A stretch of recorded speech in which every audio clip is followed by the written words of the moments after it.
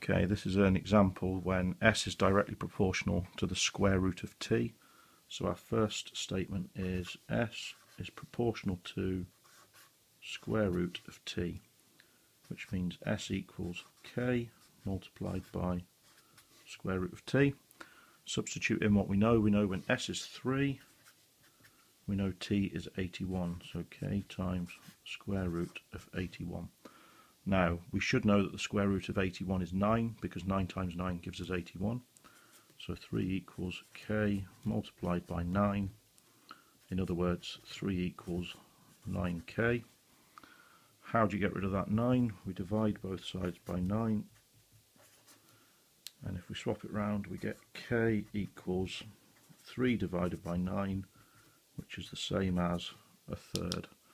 Now we're going to take this value and we're going to put it back in place of that k because we know what k is now. So we've got s equals one third multiplied by root t. And the way I would write that, I would write it as s equals root t over 3. And that means exactly the same thing. It's just more convenient sometimes to write it like that. Now, what is the value of t when s equals 9? So substitute in what you know. 9 equals square root of t all divided by 3. We'll get rid of this divided by 3 by times in both sides by 3. That'll get rid of that.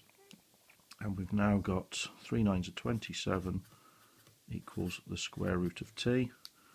Get rid of the square root by squaring both sides. And that leaves us with t equals 27 squared, which is 700 and 29.